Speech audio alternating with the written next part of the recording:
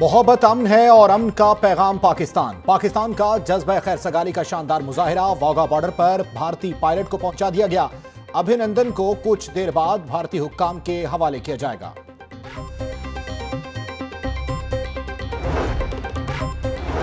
بھارتی پائلٹ کی واگا کے ذریعے واپسی، وزیراعظم عمران خان بھی لاہور میں موجود۔ ایوان وزیراعلیٰ میں نماز جمعہ کی ادائیگی۔ گورنر اور وزیراعلیٰ پنجاب سے ون آن ون ملاقات۔ پاک بھارت کشیدگی کے معاملے پر تبادلہ خیال۔ پنجاب کابینہ کے اجلاس کی صدارت بھی کریں گے۔ وزیراعظم کو نئے بلدیاتی نظام کا حتمی مسودہ بھی پیش کیا جائے گا۔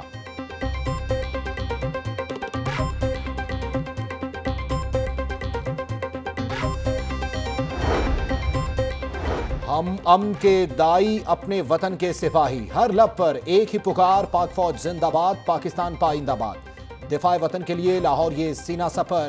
شہر بھر میں تیسرے روز بھی ریلیاں اور مظاہرے۔ ایپکا کے زیر اہتمام پنجاب اسمبلی سے گورنر ہاؤس تک ریلی۔ ہائی کورٹ میں وکلا کا پاک فوج کے حق میں مظاہرہ۔ بلدیہ عظمہ کی ایڈمنسٹریٹو سٹاف یونین بھی میدان میں آ گئی۔ D H A traders union بھی سڑکوں پر۔ بسم اللہ چوک پر بھی دفاع وطن کے لیے لاہور یہ سینہ سفر۔ منٹ گمری روڈ پر تاجر برادری کا پاک فوج کے شانہ بشانہ چلنے کا عزم۔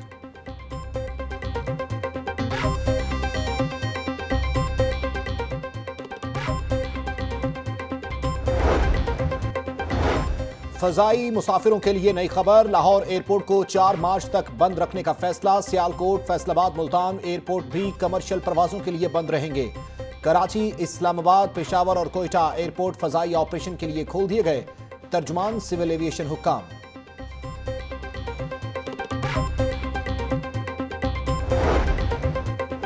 پاکستان نے امن کے بعد دوستی کا ہاتھ بڑھا دیا۔ پاک بھارت دوستی بس چلا دی، بس کے ذریعے سولہ مسافر بھارت روانہ۔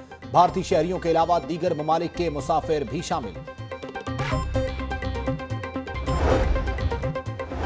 بھارتی پائلٹ کی رہائی ہمارا جذبہ خیر سگالی ہے۔ مودی الیکشن کے لیے کچھ حاصل کرنا چاہتا تھا۔ پائلٹ پکڑے جانے سے مودی کے مقاصد کو نقصان پہنچا۔ عبدالعلیم خان کی پنجاب اسمبلی آمد۔ میڈیا سے گفتگو۔ اپوزیشن نے بھی وزیراعظم کے فیصلے کو سراہا۔ پاکستان پر امن ملک ہے۔ ہمیشہ امن کی بات کی۔ اپوزیشن ارکان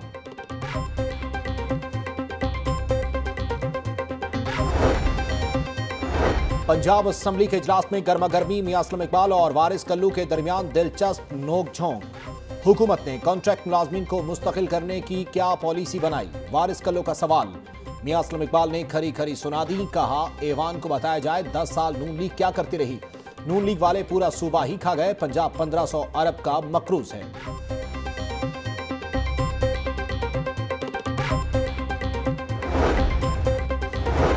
پروڈکشن آرڈر کے بعد مزید ریلیف گرفتار ارکان بھی کامہ کمیٹیز کے رکن بن گئے۔ عبدالعلیم خان اور خواجہ سلمان رفیق استحقاق کمیٹی کے رکن منتخب۔ دونوں ارکان کمیٹی کے اجلاس میں شرکت کر سکیں گے۔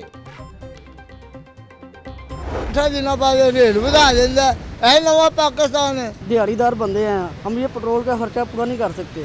پٹرول کی قیمت ساٹھ ستر روپے لیٹر ہونی چاہیے۔ سیلری وہیں پہ ہے اور پیٹرول کا ریٹ بڑھتا جا رہا ہے مہنگائی ہوتی جا رہی ہے۔ کافی فرق پڑ جاتا ہے۔ وہاں سے کوئی بھلا کرے وہاں سے پھستی جاندی پھستی جاندی۔ بڑھ جائیں گی حالات خراب ہو جائیں گے اور کیا ہوگا؟ مسئلہ یہ ہے کہ ایک آدمی کی سیلری صبح سے لے کے شام تک وہ چار سو روپے دیڑھی لیتا ہے۔ اگر اس کے اوپر ہی ڈھائی ڈھائی روپے بڑھ جائیں گے تو وہ اس کے لیے یہ کام مشکل ہو جائے گا۔ مہنگائی سے ستائے عوام پر مزید بوجھ۔ حکومت نے پیٹرولی مصنوعات کی قیمتوں میں اضافہ کر دیا۔ پیٹرول کی قیمت میں دو روپے پچاس پیسے فی لیٹر کا اضافہ۔ ہائی سپیڈ ڈیزل کی قیمت چار روپے پچہتر پیسے فی لیٹر بڑھ گئی۔ مٹی کا تیل چار روپے فی لیٹر مہنگا، قیمتوں میں اضافے کا اقدام ہائی کورٹ میں چیلنج۔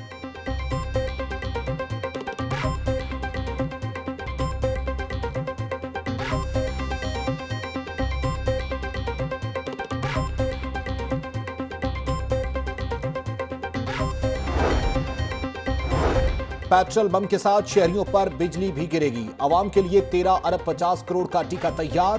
پیٹرول مہنگا ہونے سے بجلی بھی ایک روپیہ اسی پیسے فی یونٹ مہنگی۔ آنے والے بلوں میں کرنٹ لگے گا۔ اضافہ ماہانہ فیول ایڈجسٹمنٹ کی مد میں کیا گیا ہے۔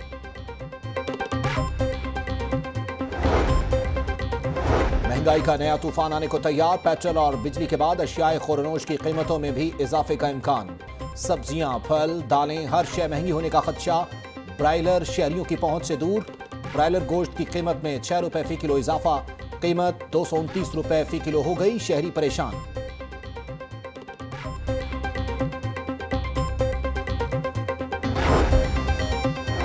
بادشالی مصنوعات کی قیمتوں میں اضافہ۔ پنجاب اسمبلی میں بھی مہنگائی کے طوفان کی گونج۔ پیپلز پارٹی حکومت پر برس پڑی۔ پیپلز پارٹی کے پارلیمانی لیڈر حسن مرتضی نے کہا، کنگال اور بے حال کر دیا نیازی سرکار۔ عوام کا سوچے۔ حکومت کا ہر اقدام غریب کے منہ سے نوالا چھیننے کے لیے ہے۔ پیٹرولی مصنوعات کی قیمتوں میں اضافہ واپس لیا جائے۔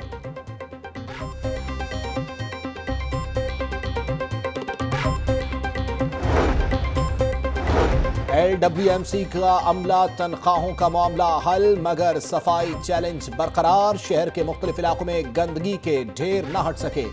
گڑی شاؤ گوال منڈی کوپر روڈ، لکشمی چوک میں پڑا کوڑا نہ اٹھایا جا سکا۔ تعفن پھیلنے سے شہریوں کا جینا محال۔ چار دن میں شہر زیرو ویسٹ چاہیے۔ وزیر قانون بلدیات بشارت راجہ کی ایل ڈبلیو ایم سی کو وارننگ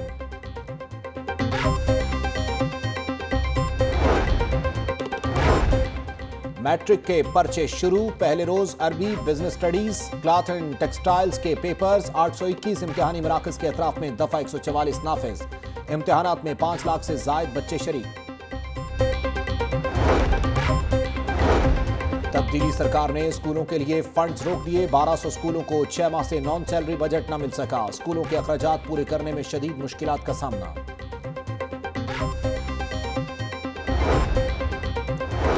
غیر قانونی منی پیٹرول پمپس کی شامت۔ ضلع انتظامیہ کی فیصل ٹاؤن اور مکہ کالونی میں کارروائیاں پانچ غیر قانونی منی پیٹرول پمپس کو سیل کر دیا گیا۔ کارروائی کے دوران پیٹرول مشینیں بھی ضبط کر لی گئیں۔ میٹرو بس حادثہ، تحقیقاتی ٹیم نے مزید انکشافات سے پردہ اٹھا دیا۔ میٹرو ٹریک پر لگے سی سی ٹی وی کیمروں کی فوٹیج مل گئی۔ حادثے کا شکار ہونے والی بس کا ڈرائیور پانچ بار ٹریک سے باہر آیا۔ بس کا بار بار غلط ٹریک پر آنا حادثے کا سبب بنا۔ تحقیقاتی رپورٹ۔ خبردار ہوشیار، پانی ضائع مت کریں مقدمہ درج ہوگا۔ واسا نے واٹر پولیس بنانے کی تیاری کر لی۔ واٹر کمیشن رپورٹ کی سفارشات پر واٹر پولیس کے قیام کی تجاویز تیار۔ عوام کو ڈیلیور کرنا ہے کوالٹی کے ساتھ۔ پچاس لاکھ سستے گھر بنانے کی ذمہ داری پوری کریں گے۔ اوورسیز کے لیے پاکستان میں ہاؤسنگ سوسائٹی بنائی جائے گی۔ وزیراعظم کے معاون خصوصی زلفی بخاری کا تقریب سے خطاب۔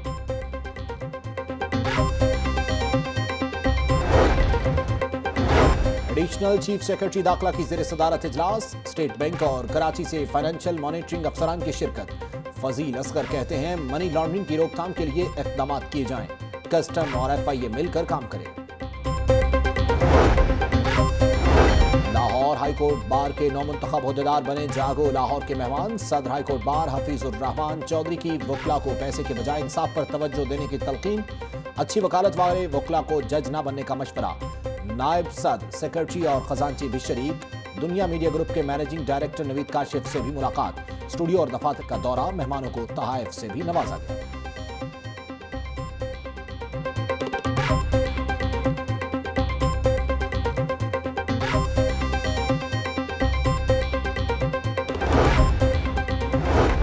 طلبہ کی مہارت، کامیابی کا منہ بولتا ثبوت گورنمنٹ کالج برائے خواتین، وحدت روڈ میں نمائش فائن آرٹس اور ہوم اکنامکس کی طالبات کے فن پارے پیش، شاندار پینٹنگز ٹیکسٹائل اور سجاوٹی سامان، سب کی توجہ کا مرکز۔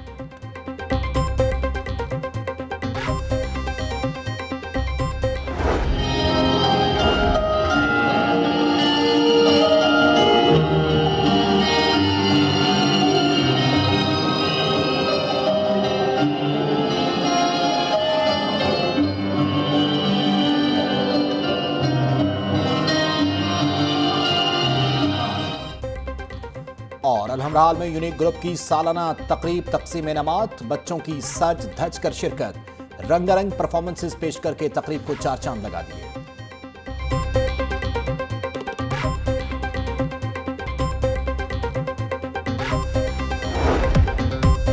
پنجاب گروپ آف کالجز کا ایک اور شاندار اقدام، ہونہار طلبہ پر انعامات کی برسات کیمپس ٹین میں سالانہ تقریب، تقسیم انعامات انٹری ٹیسٹ ٹاپرز میں پندرہ لاکھ روپے کے چیک تقسیم۔